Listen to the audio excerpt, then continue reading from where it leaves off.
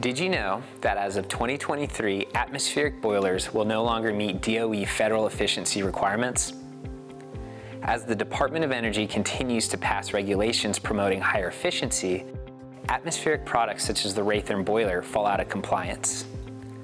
Fortunately, we have a variety of solutions for your replacement boiler project needs, and one of our lowest upfront cost solutions is our Hi Delta product family.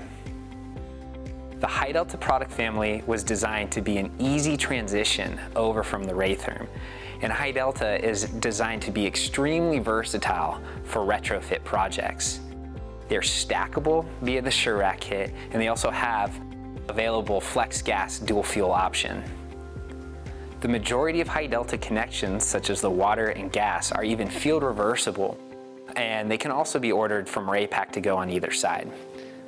Compared to atmospheric boilers, the Hi Delta use a smaller diameter venting, which is also often easier to install and reduces the overall venting material cost.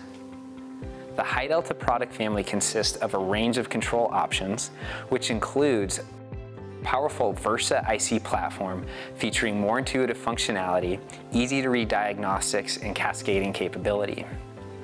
Hi Delta is designed for easy serviceability, making it a long-lasting product for your investment, and it can even withstand inlet temperatures down to 105 degrees Fahrenheit without condensing, which is an industry best in class. Your replacement projects shouldn't be more complicated than they already are, and that's why we've created the Hi Delta to make it a breeze.